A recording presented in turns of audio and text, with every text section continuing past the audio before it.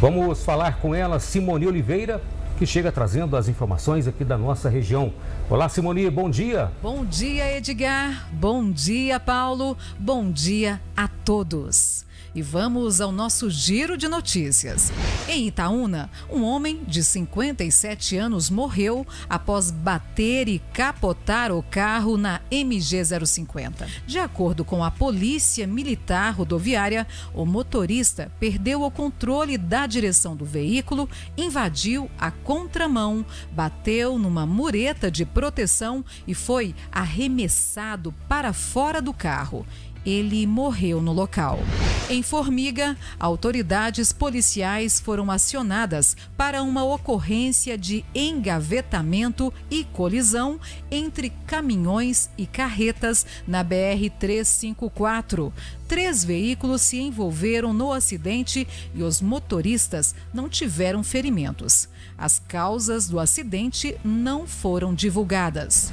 Em Córrego Fundo, durante patrulhamento de rotina, policiais avistaram um veículo em local ermo. No carro estava um homem de 36 anos, já conhecido por tráfico de drogas. Foram encontrados com o suspeito 50 papelotes de cocaína, dinheiro e aparelho de celular. O homem foi preso e encaminhado à delegacia. Agora, com notícias do sul de Minas. Em Poços de Caldas, um homem de 62 anos ficou ferido após bater contra uma carreta estacionada às margens de uma estrada vicinal entre os municípios de Poços de Caldas e Caldas. Com o impacto da batida, o carro ficou preso embaixo da carreta. Segundo as primeiras informações do Corpo de Bombeiros, o motorista do automóvel foi socorrido inconsciente, com sinais de traumatismo crânioencefálico e traumatismo no tórax. Em Delfinópolis, a polícia militar prendeu três pessoas por tráfico de drogas. Durante patrulhamento, um veículo foi abordado. No interior do carro foi encontrado um quilo de maconha e 51 gramas de crack. Os três suspeitos foram presos e encaminhados à Delegacia de Polícia de Passos. Em Passos, a Polícia Militar de Meio Ambiente apreendeu 23 galos de briga.